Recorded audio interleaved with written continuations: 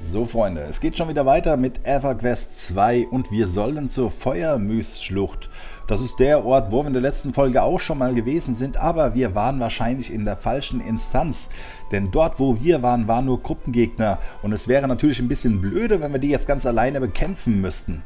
Ich würde vorschlagen, dass wir da auch hingehen, aber wir nehmen noch einen kleinen Umweg und zwar durch diesen Wald hier, vor dem ich gerade stehe, denn da brauchen wir ja noch von diesen leckeren Waldklauenknollen. Jetzt greifen sie erst der Bär an. Der hat zwar keine Chance, weil er grün ist. Aber ich glaube, das weiß er gar nicht. Aber es wird er gleich merken. So, noch ein Schuss. Pardon, noch ein Zauber.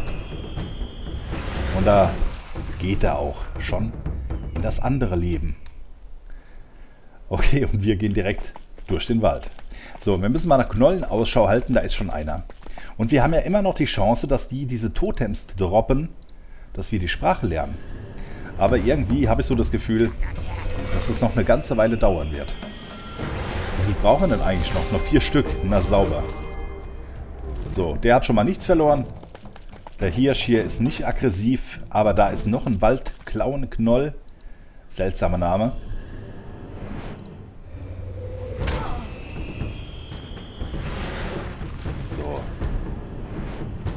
Ja, ich brauche unbedingt mehr Zauber. Da nutzt hier nichts. Das nutzt nichts. Es dauert einfach zu lang, bis einer von diesen drei Zaubern hier oben wieder ready ist. Sonst könnten wir viel schneller sein. Der hat was verloren, allerdings nur Geld. Geld brauche ich eigentlich keins hier in dem Spiel, da habe ich genug Geld. Das liegt daran, dass ich noch andere Charaktere von früher hatte oder habe und die natürlich noch genug Geld haben. Ich habe mir dann welches rüber transferiert. Habe also in diesem Spiel jetzt zumindest momentan keine Geldsorgen. Wenn schon nicht im echten Leben, dann wenigstens im Spiel oder so. Oder wie war das? So, da ist der nächste Knoll. Und das ist dann auch schon... Nee, das ist schon sogar, sogar schon zu viel. Wir haben schon alle Knolle, sehe ich gerade. Also zumindest für diese eine Quest. So, komm. Die erledigen wir aber noch, bevor wir hier weiterrennen. So, der ist hin. Und der hat ein Drohtotem. Jawoll. Damit haben wir zwei von fünf. Sehr schön. So, jetzt können wir uns mal überlegen, wollen wir hier außen rum oder wollen wir innen rum, beziehungsweise da unten hin. Wo sind wir denn jetzt aktuell? Ich sehe jetzt gar keinen Pfeil gerade. Ach, da ist er. Versteckt im Wald. Ja gut, dann würde ich vorschlagen, dass wir unten rumgehen. Denn da ist es doch ein bisschen näher. Zumindest sieht es auf der Karte so aus. Und wir rennen jetzt einfach mal hier durch. Irgendwie habe ich so gerade ab und zu so Frame-Einbrüche. Weiß ich nicht, was da los ist. So, der Wolf rennt uns jedenfalls hinterher. Aber wir beachten ihn gar nicht. Hier an dieser Stelle, ich glaube, das haben sie abgeschafft, war es früher so, dass wenn man hier durchgelaufen ist, sind da zwei oder drei Gegner gespawnt, die Level Paar 20 sind äh, oder waren. Die haben einen dann immer platt gemacht. Aber ich glaube, das haben sie abgeschafft. Das gibt es gar nicht mehr. Hm, schade eigentlich. So gab es früher hier und da so Tücken in diesem Spiel. Das heißt, man konnte diesen Weg gar nicht benutzen, weil man immer platt gemacht worden ist von den anderen. Aber irgendwie haben die alles hier einfach nur vereinfacht. Naja, gut. Centurio Grimbold Stediert. Good day to you. Good day to you. Schön, wir können immer Hilfe im Kampf gegen die Untoten gebrauchen. Ich bräuchte jemanden, der sich einiger Geschäfte innerhalb der Tore annimmt. Ich kann es nicht riskieren, sie lange geöffnet zu halten und damit Untoten Gelegenheit zur Flucht zu geben. Und wir haben sogar einen Alternativverbesserungspunkt bekommen. Sehr schön. Ihr könntet uns helfen, indem ihr mit den Soldaten in der Schlucht sprecht. Ihr findet das erste Lager der Zwergeneinheit direkt hinter diesen Toren. Aus irgendeinem Grund sind die Untoten ruhelos. Es ist unsere Aufgabe, ihnen ihre ewige Ruhe zurückzugeben. Vielen Dank. Oder viel Glück vielmehr. So, wir müssen da jetzt nochmal rein. Ingnar Stedit ist noch immer enttäuscht darüber, dass er beim Claymore-Monument bleiben muss, aber er war sehr dankbar, dass er die Schlachten indirekt durch meine Berichte erlebt hat. Es war mir eine Freude. So, wir sollen da jetzt reingehen. Beziehungsweise, ich sehe gerade, wir haben gar keine neue Aufgabe bekommen. Ach, der hat uns da einfach nur reingelockt. Ohne eine neue Aufgabe zu geben. So, wir haben das oberste, glaube ich, das letzte Mal angeklickt. Versorgungsengpässe. Komm, wir klicken mal auf das untere diesmal. Ein Mitglied eurer Gruppe hat die Zugangsbedingungen nicht erfüllt. Aha, wir brauchen dann eine Zugangsquest. Ziemlich geile Sache. Das war früher sowieso mal viel besser bei EverQuest. Also das heißt besser, es war auf jeden Fall viel schwieriger. Denn zum Beispiel, wir werden ja später mit dem Level 30 bis 40 in die sogenannten verzauberten Landen kommen. Da konnte man früher aber nicht einfach so hinlaufen, da musste man eine Zugangsquest machen. Sowas haben die leider abgeschafft, das gibt es nicht mehr. Heute kann man da einfach so hinmarschieren, rein theoretisch schon mit diesem Level jetzt. Aber das sind alles so Sachen, das hat es früher schon zu was Besonderem gemacht. Und letztendlich ist es ja so, da warst du irgendwann Level 50 und warst auch richtig stolz drauf, weil du alle möglichen Quests erledigt hast, weil du Zugänge zu allen Orten hattest und so weiter. Und das ist natürlich, naja, nicht mehr so, weil ja logischerweise die ganzen Quests verloren gegangen sind. Na gut, ich rede mir schon wieder um den Verstand, merke ich gerade. Wir können ja mal aktuell gucken, was wir da für Quests offen haben. Wir haben hier drei Stück, aber wir können ja mal ganz ausführlich schauen, wenn ich es denn finde, das Tagebuch.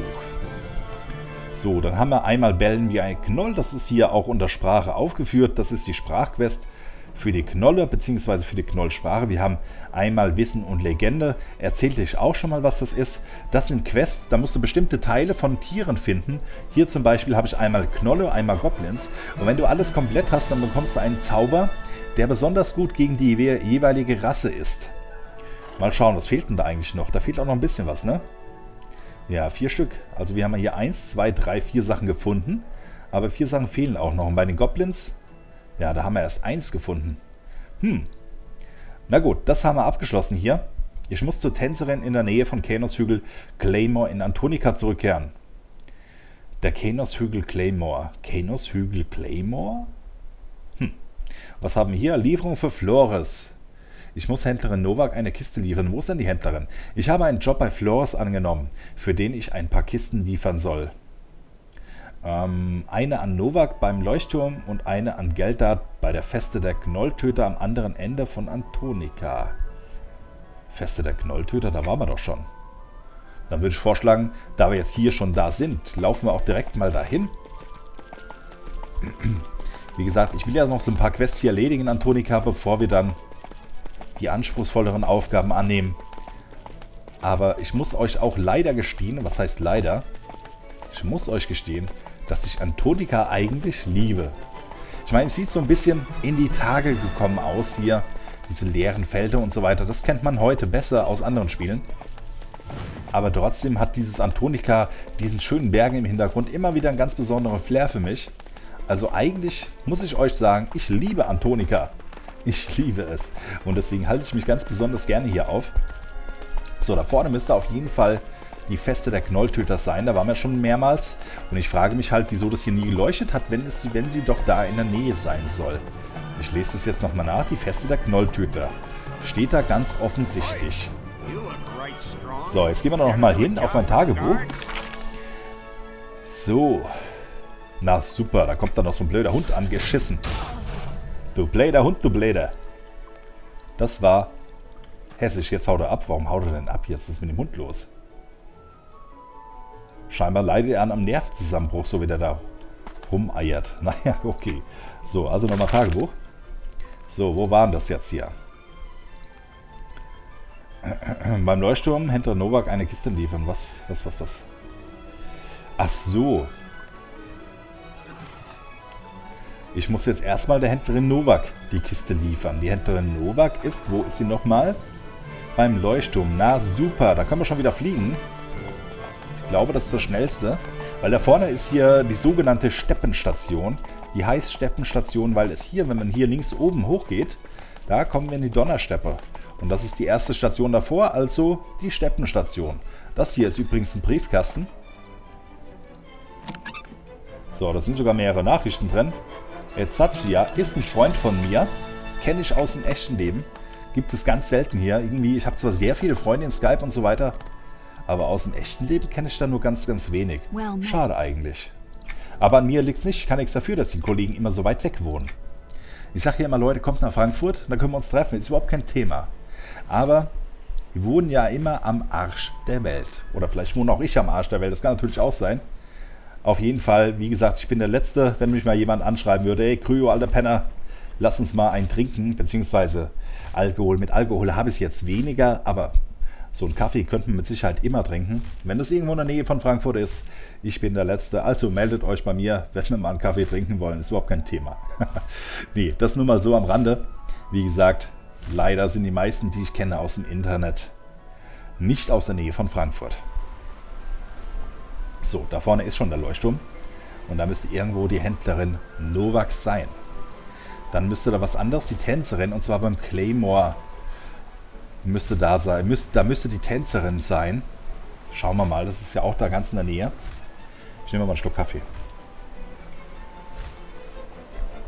Es gibt doch nichts Schöneres. Es ist jetzt 21.33 Uhr Ortszeit. Einen schönen Schluck frischen Kaffee. Nee, also nehmt es mir nicht übel. Das ist einfach eine geile Sache. Ich bin da irgendwie ähm, hängen geblieben bei Kaffee. Ich weiß auch nicht. Aber ich brauche das einfach. So, wir können auch abspringen hier.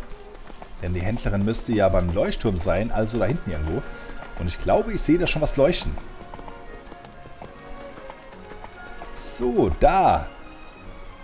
Seid gegrüßt. Seid gegrüßt. Vielleicht wollt ihr eure Vorräte auffüllen oder vielleicht nur etwas verkaufen, was ihr auf dem Weg gefunden habt. Naja, eigentlich bin ich hier, um eine Kiste Vorräte von Flores auszuliefern. Great. I was almost out of supplies as it stands. I would hate to hike all the way back to Flores. Here's a pouch for Flores. Make sure he gets this, okay? Mhm. Vielen Dank, dass du uns jetzt auch die englische Sprache gelehrt hast. Ich bin schwer begeistert. Ich finde es super klasse. Ähm, großartig, wie es aussieht, hatte ich fast keine Vorräte mehr. Ich, fand, ich fände es furchtbar, wieder den ganzen Weg zu Flores zurückzuklettern. Hier ist ein Beutel für Flores. Seht zu, dass, es, dass er ihn bekommt. In Ordnung, yo. So, jetzt müssen wir dem Händler Gettert eine Kiste liefern. Das ist, glaube ich, der an dieser ähm, Knolltöterfeste, wenn ich mich da nicht irre. Wir gehen jetzt aber erst nochmal zum Claymore. Gott sei Dank haben wir hier so ein schnelles, schnelles Schwert, wollte ich schon fast sagen, schnelles Pferd. Dadurch geht es doch ruckzuck, sind wir am richtigen Ort. Und wenn wir jetzt da vorne sind, da beim Claymore, dann können wir da auch nochmal die Quests annehmen, die es da gibt. Da gibt es nämlich ein paar ganz interessante Quests. Wir sind hier erst Level 18, das heißt, wir haben noch ein bisschen was vor uns. So. Jetzt werden wir hier umzingelt von lauter Knollen. Aber ich renne jetzt einfach mal mitten durch. Das waren hier früher übrigens bei der Anfangszeit von EverQuest alles Gruppengegner. Das heißt, das heißt, du konntest es vergessen, hier alleine durchzulaufen. Du hast immer eine Gruppe gebraucht. Das war so ein bisschen ein Nachteil. Denn ähm, ich kann mich noch daran erinnern, die Anfangszeit von EverQuest. Was heißt Anfangszeit? Bestimmt die ersten zwei, drei Jahre. Und da hast du immer beim Einloggen hast du immer erstmal eine halbe Stunde eine Gruppe gesucht, damit du überhaupt spielen konntest, weil es gab so gut wie keine einzigen Singleplayer-Gegner. Das haben sie jetzt natürlich komplett geändert. Das war für, für, früher für mich besonders kritisch, weil zu der Zeit hatte ich noch Schicht gearbeitet, bin erst um 11 Uhr abends heimgekommen. Naja, Wochentag sind die meistens schon im Bett und dann hast du da eine Gruppe gesucht. Ich als, als EverQuest 2 suche die natürlich immer jeden Abend eine Gruppe gesucht und da hast du teilweise richtig lange gesucht. Naja gut, hier haben wir auf jeden Fall jetzt schon mal die Tänzerin. Ihr müsst ein Abenteurer sein, der neu in diesen Gebieten ist. Wer sonst würde so weit entfernt vom wachsamen Blick der Kanos-Wache der Wildnis trotzen? Ja, ich habe hier was für dich. So, was, was soll ich denn jetzt hier auswählen? Ich habe mein Bestes gegeben, doch es sind zu viele. Man vergisst die größten Abenteuer der Welt so schnell. Nee. Übrigens, so, ich habe das jetzt einfach mal durchgeklickt. Sieghardt hat nach euch gefragt. Er wünscht euch zu sprechen. Okay, die spricht auch Deutsch und Englisch. Also Sony Online Entertainment, wenn ihr das jetzt hört. Ich weiß, ihr hört das nicht, weil euch eure, meine Videos einen Scheißdreck interessieren. Obwohl ihr als Tech, Entschuldigung, das muss ich jetzt mal ganz stolz verkünden, das Sony Online Thema, äh, Entertainment als Tech Cryowell verwendet. Das heißt, wer Cryowell eingibt in Google, der wird irgendwann auf die Sony-Seite kommen und nur deshalb, weil sie irgendwo Cryowell stehen haben. Ihr kleinen Säcke. Aber ihr könntet euch mal hinsetzen und das richtig übersetzen. Was haltet ihr denn davon? Und wehe, ihr baut diese Scheiße auch mit EverQuest Next. Ich werde euch töten. Ich werde euch wirklich töten. Na gut, ich glaube, für heute haben wir genug off-topic gesprochen. So, ich habe hier eine neue Aufgabe bekommen. Ich habe tapfer gegen die Knolle im Bogenschützenwald gekämpft. Tänzerin hat mir ihre Halskette gegeben. Bei genauerer Untersuchung verstehe ich, dass ihr Name in Wirklichkeit Verona sein muss. Sie scheint großes Vertrauen in mich zu haben, dass sie mir ein derart wertvolles Geschenk macht. Naja, so wertvoll sieht es jetzt gar nicht aus, wenn ich ehrlich bin. Na gut. Wir wollen ja nicht schimpfen, ne? Ist euer Name, euer Name wirklich Tänzerin? Es gab eine dunkle Zeit in meinem Leben, da Tanzen keine Freude, sondern eine Qual der Knechtschaft war. Diese Zeit suche ich zu vergessen. Doch Tänzerin nennen mich meine neuen Freunde, die auch ihr eines Tages vielleicht kennenlernen mögt. Aha. Na gut, dann lebt mal wohl. So. Ich denke, die hat uns eine neue Aufgabe bekommen. Oder war das nur unsere Belohnung, was wir eben bekommen haben? Hallo, ich stehe schon wieder auf dem Schlauch oder was? Ach nee, wir haben die Halskette bekommen. Das war die Belohnung. Okay. Ja gut. Meine Halskette, die ich anhabe, ist auf jeden Fall besser. Naja. So, wir wollten Händler Gettert eine äh, Kiste abliefern, aber wir wollten auch die neuen Quests hier annehmen. So, jetzt wollen wir mal schauen, welche Richtung das war. Boah, jetzt greift mich der grüne Wolf wieder an, ey.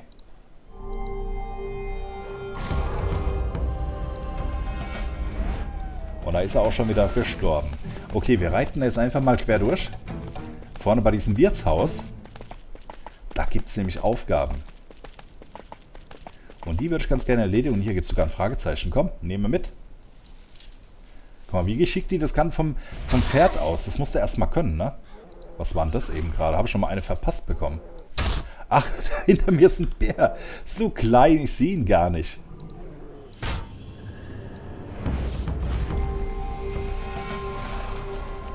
Und da ist er auch leider gestorben und jetzt können wir hoffentlich das Fragezeichen nehmen. So, eine abgenutzte Wahrnehmungsscherbe. Das können wir hier direkt zur Sammlung hinzufügen. Da haben wir zwei Sammlungen. Eine Level 20 Sammlung, eine Level- oder Stufe 45 Sammlung. Eigentlich egal wohin. Ich packe es mal hier hin. Sehr schön. Das sind hier diese ganzen Sammlungen. Das ist im Prinzip meine ganzen angefangenen Sammlungen. Also ihr seht, ich habe mittlerweile schon jede Menge angefangener Sammlungen, 21 um genau zu sein. Hier steht die Zahl. Vollständige Sammlungen habe ich bisher noch keine. Aber hier gibt es Hunderte, Leute, Hunderte. Und das Schöne ist, die bringen auch richtig viele Erfahrungspunkte und teilweise richtig geile Gegenstände als Geschenk. Aber das werde ich euch auch noch zeigen, wenn wir die ein oder andere Sammlung vollständig haben. So, jetzt gehe ich hier mal außen rum. Da ist schon wieder so ein blöder Wolf. Und das ist dieses Wirtshaus, von dem ich gesprochen habe. Hier gibt es jede Menge Arbeit. Ich weiß auch gar nicht, ob das wirklich ein Wirtshaus ist. Sag mal Wirtshaus dazu. Keine Ahnung. Da vorne, hier am, am Baum, geht es schon direkt los, sind wir eben gerade vorbeigeritten. Damen Triebmeer, auch ein Seid schöner Name. Grüßt, Abenteurer. Passt auf, wo ihr hintretet und zertrampelt mir nicht meine lieben kleinen Blümchen. Sie blühen bald. Mhm. Eure Gänseblümchen sehen hübsch aus. Ihr scheint ein guter Gärtner zu sein. Danke. Gärtnern ist mein Leben. Ich liebe es, die kleinen grünen Dinge in der Erde zu pflegen. Manche dieser Keimlinge werden eines Tages große Bäume sein. Und viele meiner Pflanzen werden schon bald den Menschen von Kainos als Nahrung dienen. Hm, da fragt man sich doch, wovon haben sich die Ritter des Donners vor so langer Zeit ernährt? Was meint ihr? Was ich meine? Nimmst mir nicht übel, mein kleines Mädchen, dass du genau das gleiche schon vor acht Jahren erzählt hast und noch immer deiner kleinen Keimlinge noch immer keiner deiner kleinen Keimlinge groß geworden ist. Also irgendwas ist faul mit deiner Gartenkunst. Aber okay. Oh, nun kommt schon. Sicherlich kennt ihr die Gerüchte, dass einige Entdecker vermutlich den Standort der legendären Sturmfeste gefunden haben. Die alte Festung der Ritter des Donners? Ich für meinen Teil halte diese Entdecker für Grabräuber. Aber was weiß ich denn schon? Pflanzen.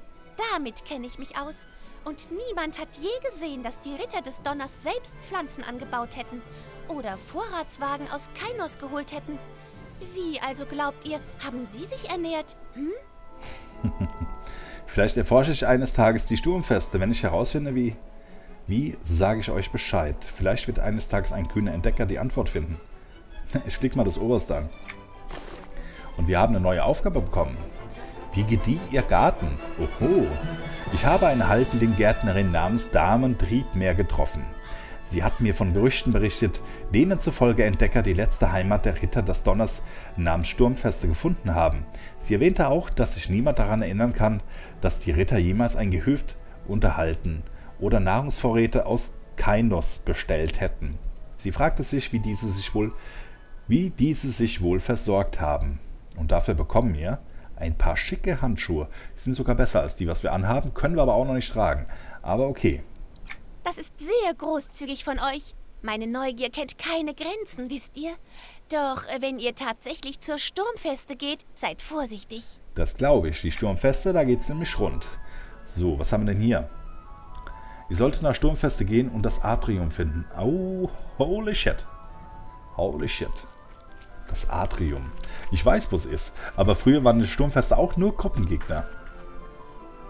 Haltet euch von der Schmiede fern, mein Freund. Das Metall ist heiß und mein Hammer schwingt in alle möglichen Richtungen. ja, solltest du vielleicht deinen Hammer besser mal kontrollieren, aber ihr scheint einen interessanten Schmiedestil zu haben. Ach, manche glauben, in meinem Alter wäre ich bloß noch gefährlich. Doch ich erledige meine Arbeit. Ich habe mich nie zur Ruhe gesetzt, wisst ihr? Das Schmieden liegt mir im Blut. Ich muss ab und an arbeiten, das hält mich jung. Ach, aber diese nutzlosen Werkzeuge, die treiben mich noch in den Wahnsinn. Was stimmt mit dem Werkzeug nicht? Oh, sie sind schon in Ordnung. Bloß, es sind eben nicht meine geliebten Werkzeuge, die ich in Kaladim zurückließ. Damals wussten wir Zwerge noch, wie man Werkzeuge herstellt. Nicht so wie heute. Wenn ich nur eine Schmiede hätte wie die in der legendären Sturmfeste, dann würde ich mich nie zur Ruhe setzen. Was ist eine Schmiede? Was ist das für eine Frage? Ich weiß, was eine Schmiede ist. Nun ja, eine Schmiede ist die Werkstatt eines Schmieds. Und in der Sturmfeste, der legendären Festung der Ritter des Donners, gab es die tollste Schmiede außerhalb von Kaladim. Unterschmiede wurde sie genannt. Dort wurden alle Waffen und Rüstungen sowie die Eisen der Pferde der Ritter hergestellt. Ihr habt nicht zufällig die Gerüchte gehört, oder? Einige spitzbübische Grabräuber haben angeblich Sturmfeste entdeckt. Ich gebe ja nichts auf Gerüchte, aber ich wäre sehr dankbar, wenn jemand die Wahrheit für mich herausfinden könnte. Na klar. Habt vielen Dank. Ein Gerücht taugt weniger als ein Haufen Schlacke. Doch manchmal steckt auch in einem Gerücht ein Körnchen Wahrheit. Hm. Alle Wege führen uns in die Sturmfeste. Ich weiß übrigens, wo sie ist. Wie sollte es auch anders sein?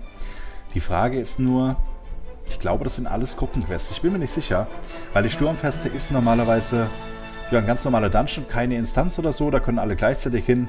Richtig schön oldschool. Aber das sind, glaube ich, alles Gruppengegner. Wir werden, uns wir, wir werden uns das betrachten und zwar in der nächsten Folge. Macht's gut, bis dann.